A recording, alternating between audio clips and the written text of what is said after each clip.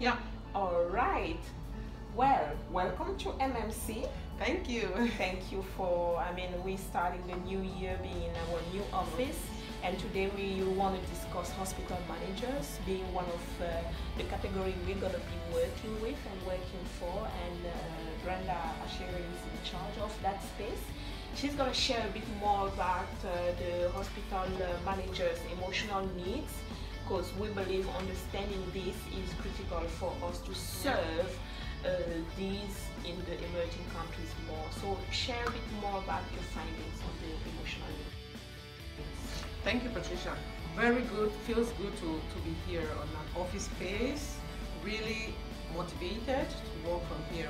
So what I found out is, as a hospital manager, first of all, I need to be confident that I have the right knowledge to be able to serve patients or customers with good quality care.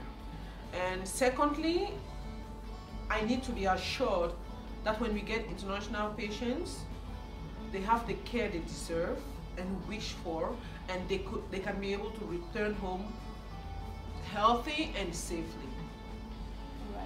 So these have been the, the two focus. Yeah. So if I recall well, I heard self-confidence, Yes. I heard uh, reassurance. Assurance.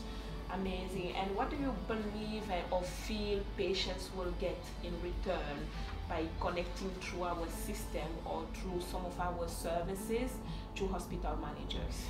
Patients, I believe, uh, from my uh, research and uh, and uh, testimonials, I believe patients would get exceptional care